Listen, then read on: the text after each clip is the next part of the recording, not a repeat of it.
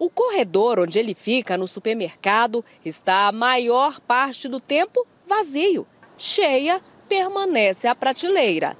250 ml de azeite a quase 40 reais e meio litro a mais de 60 explica uma situação. De dezembro para cá só vem subindo, né? Infelizmente a gente não consegue segurar muito tempo, né? O preço do azeite começou a subir depois de 2022, em que a safra teve redução de 26%. A expectativa era de que a produção melhorasse em 2023, mas a seca continuou castigando, principalmente nos países com maior produção, como Espanha e Itália.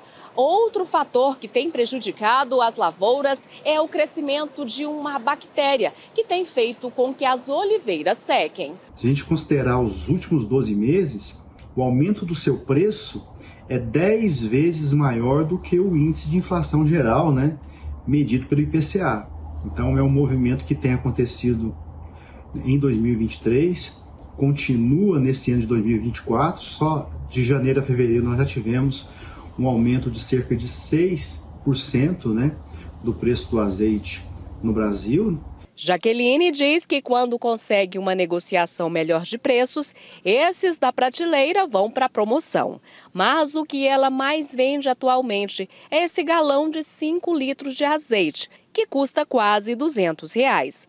Um litro equivale ao mesmo valor do vendido em embalagens de 250 ml, a R$ 39,90. A dica de economia vale a pena para aqueles que não têm exigência de marca. Sai mais em conta, né?